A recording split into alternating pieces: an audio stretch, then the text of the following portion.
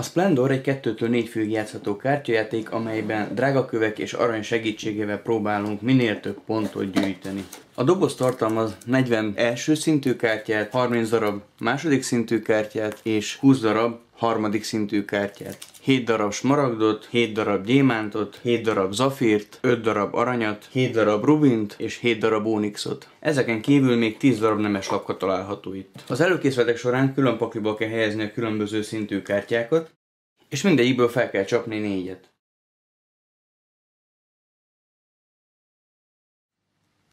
Ezen kívül válasszunk ki egyel több nemes lapkát, mint ahányan játszunk, tehát mondjuk egy négyfős játéknál 5 darab nemes lapka lesz itt. Kétfős játéknál csak három nemes van, illetve minden drága körről le kell venni hármat, tehát csak négy darab marad.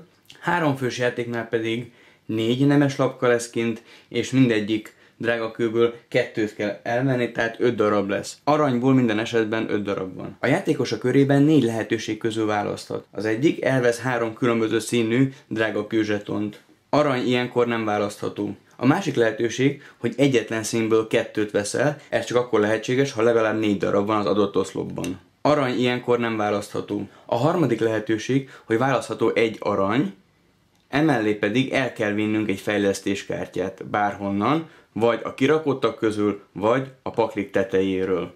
Amint valamelyik sorban luk keletkezik, az fel kell tölteni. Fontos, hogy a kezünkben legfeljebb három fejlesztéskártya lehet, ezektől csak úgy lehet megszabadulni, ha meg is vesszük őket. A negyedik lehetőség pedig, hogy vagy a kezünkben tartott lapok közül, vagy pedig az asztalon látható lapok közül valamelyiket megvásároljuk.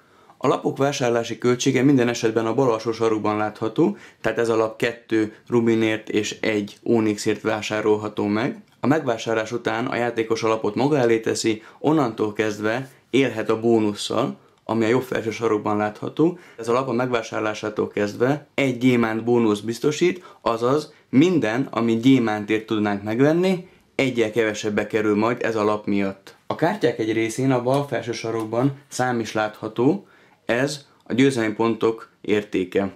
A játékos a köre végén megnézi, hogy valamelyik nemes óhaját tudja-e teljesíteni.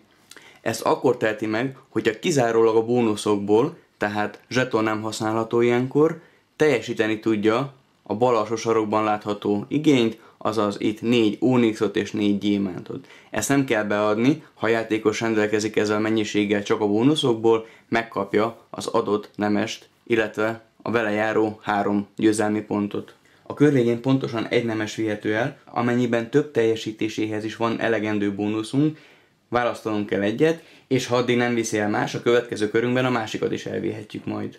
Amint valamelyik játékos a körében eléri a 15 pontot, az a forduló még végigmegy, hogy mindenki ugyanannyiszor kerülhessen sorra, és a legtöbb pontot gyűjtő játékos nyer. A Splendor egy gyors, könnyed, kimondottan elegáns játék, amely kipakolással és elpakolással együtt is 30 perc alatt lejátszható.